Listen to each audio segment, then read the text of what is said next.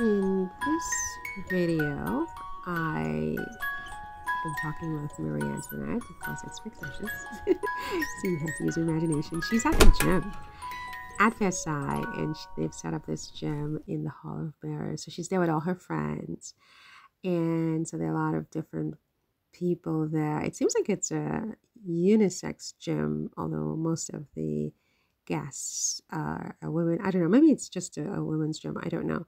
But I seem to have recalled seeing some males there.